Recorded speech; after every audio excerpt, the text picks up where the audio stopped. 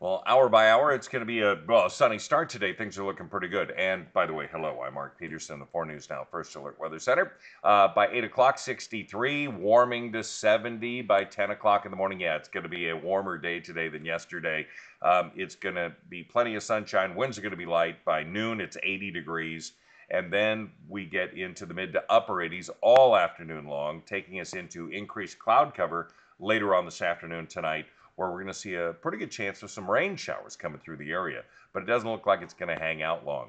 Nationally, yeah, we still have that severe weather moving into the Great Lakes. Uh, we've got another system, Ernesto, which is on the right side of your screen, continuing to make its way up north, but it will stay away from the lower, lower 48. Uh, the islands in those areas are being inundated with rain, and the heat is on for the deep south. The west, yeah, we got a little bit of energy out there. We're going to see that in Oregon. That's part of what is coming our way.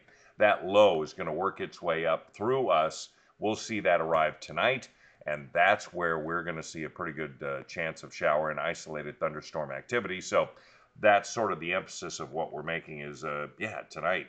Um, that radar, 5 o'clock, we start to see that coming in to the Lewiston area, uh, into parts of the Central Basin. Tonight, we see that rolling through tomorrow, and then by tomorrow afternoon, it moves out. Mountain showers remain, but that's going to be about it. So, we are going to see some scattered rain showers. Not enough, I don't think, to get the smoke out of the air. We're in moderate air quality for today.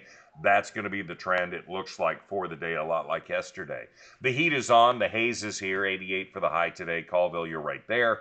90 into Lewiston, but we'll have mid 80s, Sandpoint and Coeur d'Alene. Um, again, everything really moving in tonight around dinner time and then hanging out through uh, Friday afternoon. It'll be cooler, breezy tomorrow, 81. Saturday 88 and then 84 on Sunday. Mid 80s for Monday and Tuesday. It's looking pretty nice. Uh, the First Alert Weather app is free. It's available. It's in the App Store.